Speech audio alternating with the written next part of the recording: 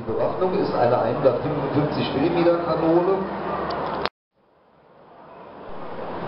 Die Panzerhaubitze 2000 ist auch in der Lage, aufgrund ihrer computergesteuerten Technik den Feind als einzelnes Geschütz mit sogenannten Salven zu bedecken.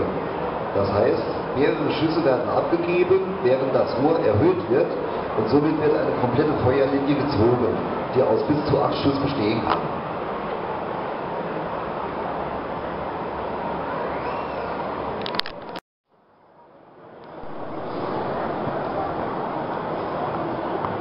So, wir werden nun den Motor des Panzers starten.